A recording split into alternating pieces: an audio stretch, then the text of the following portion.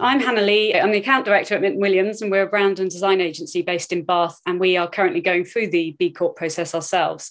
I'm also the regional director for the PM Forum Committee in the Southwest. So the idea of B Corp is this uh, is is a philosophical, even maybe spiritual outlook for some people, which is that business has a role to play in society, that it's lost its way, that it's not fundamentally bad, um, but it has a purpose to play that's different from other things, that's different from the family, that's different from government, that's different from charities. Uh, and there's a, there's a better way of doing it. And that sometimes that involves sacrifice, but it's not always a zero sum game. So again, we had all these inputs and all of these different strands. How do we bring this together? And, and really feeling like a sense of responsibility that within our within our business that you know we've been always almost subservient to our clients. How can we be a more positive influence on society and start to guide this amazing amount of wealth towards more positive things and help and help our clients? So what we really needed was an external referee and that's what b corp was for us.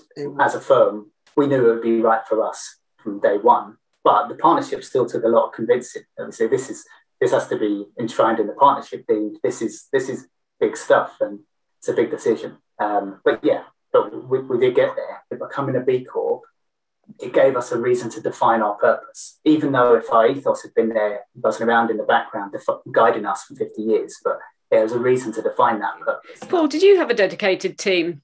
Uh, team's probably too grandiose a word, um, but it was. Um, it has to come from the top in my mind. So you've got um, you've got you've got to get COO and CEO buy-in, and then and then you uh, I think uh, you know you then create someone's role, and for our person it was a you know it was a council towards the CEO who, who sort of led on this, and then you've and then you've got to get people who are really like-minded and passionate about this area, and for us it was two or three grads that helped with the heavy lifting. Um, but but if you haven't got that, it needs to be cross-functional. I think it will be a failure if it comes from marketing solely.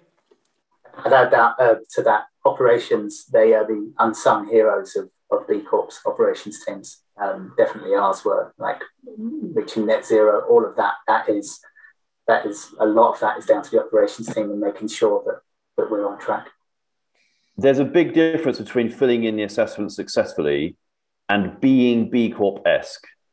If you fill in the assessment successfully, um, you can't necessarily expect to be a B Corp in five years' time. I don't mean be a B Corp certified. I mean who you are as a business.